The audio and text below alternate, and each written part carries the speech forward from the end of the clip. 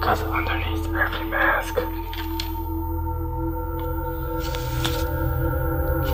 there's just another mask.